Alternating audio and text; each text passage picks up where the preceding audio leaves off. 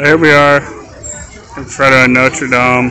Unfortunately, a few years ago, there was a fire while they were doing